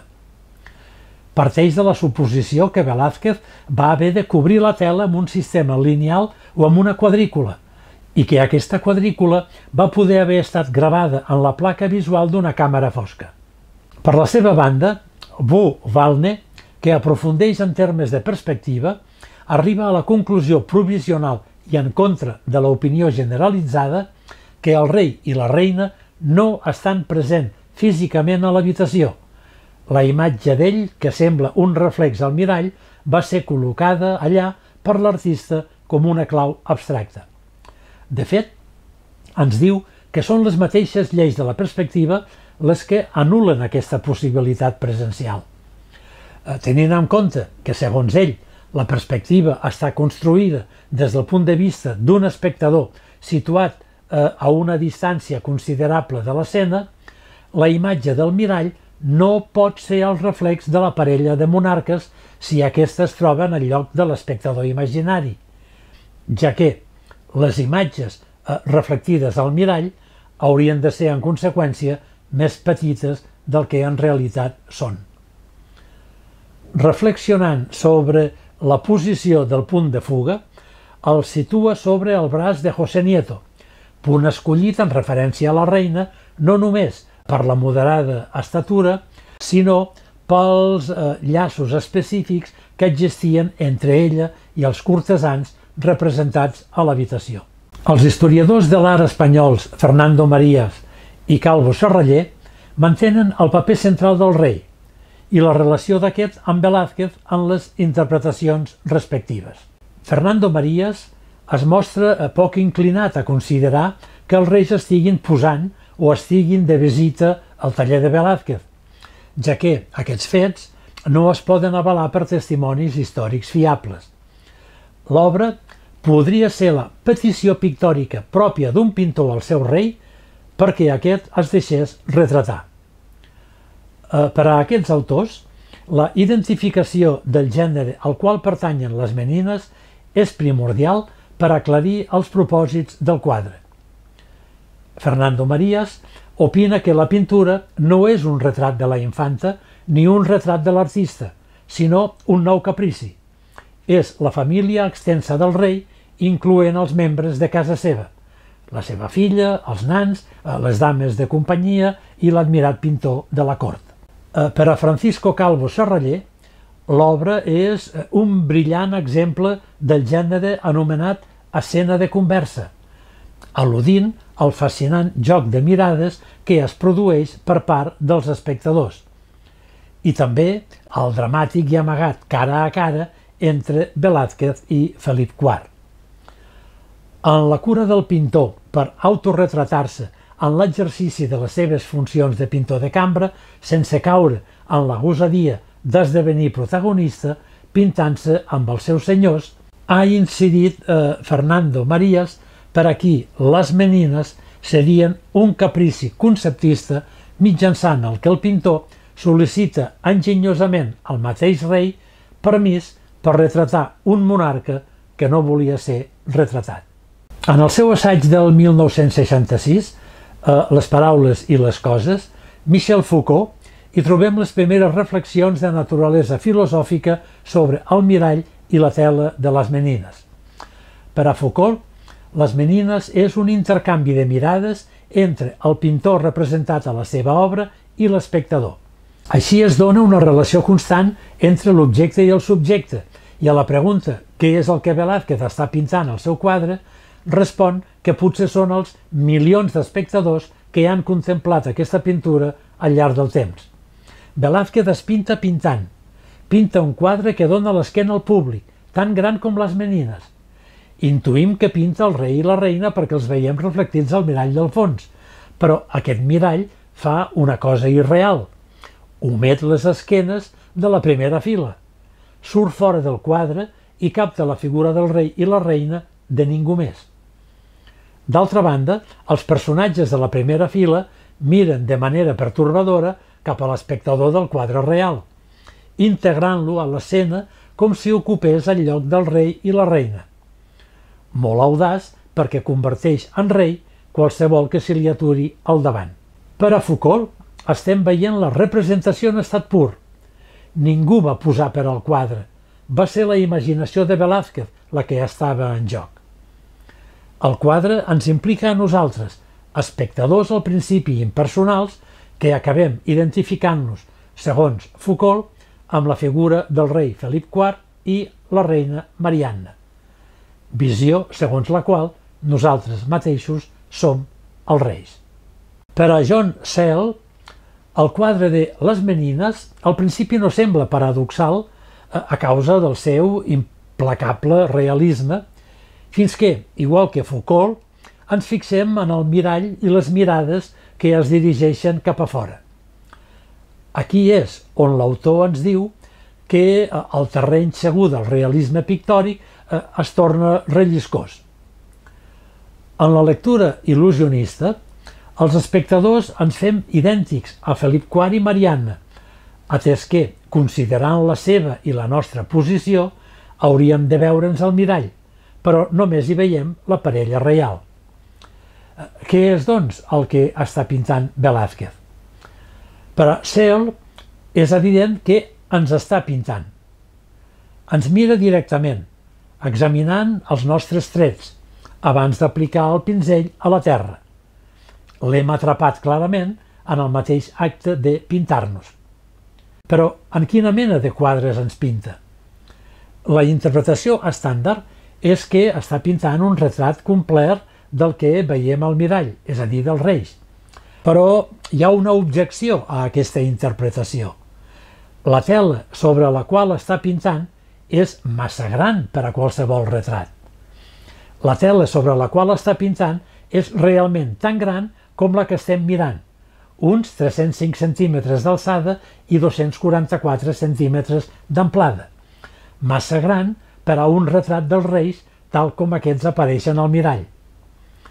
Poques vegades feia servir teles tan grans per als interiors i la majoria de les seves grans teles són retrats equestres de la reialesa espanyola. Considera que el pintor està pintant el quadre que estem veient, és a dir, està pintant les menines. Per a Cel, la més senzilla de les seves paradoxes és que veiem el quadre no des del punt de vista de l'artista, sinó des de l'espectador. És el primer quadre que Cel reconeix pintat des del punt de vista del model i no pas de l'artista. Per tant, el seu caràcter paradoxal resideix en la suposada transgressió d'una regla fonamental del de la pintura figurativa il·lusionista clàssica, regla que exigeix que el quadre es projecta i es vegi des del punt de vista de l'artista. Eh, recapitulant els assaigs de Foucault i Cel, veiem com el punt de vista està donat per l'espectador i aquest està ubicat en el mirall de la paret del fons, identificant-se així l'espectador mateix amb la figura dels monarques. Des d'una perspectiva històrico-social, Byron Hamann assegura que les menines es podrien relacionar amb el context econòmic de mitjan segle XVII d'Espanya i el seu imperi colonial. Considerant que la història d'Occident és inseparable de la colonització de la resta del món, posa de relleu aquells objectes i detalls, al principi irrellevants a la tela, com el búcar, la safata de plata sobre la que aquesta sosté i la cortina vermella reflectida al mirall. En aquests elements l'Amèrica colonial espanyola es fa visible. Lluny de ser objectes inusuals que semblen accidentals, són coses que s'observen a la vida quotidiana de les llars riques i la vàlua de les quals residia precisament a haver estat fabricats amb substàncies i matèries que provenien de llocs específics havent creuat distàncies sorprenents. Intentem fer una recapitulació, una síntesi a manera de conclusió. Les menines serien no només un al·legat abstracte en defensa de la noblesa de la pintura, sinó també una afirmació personal de la noblesa del mateix Velázquez.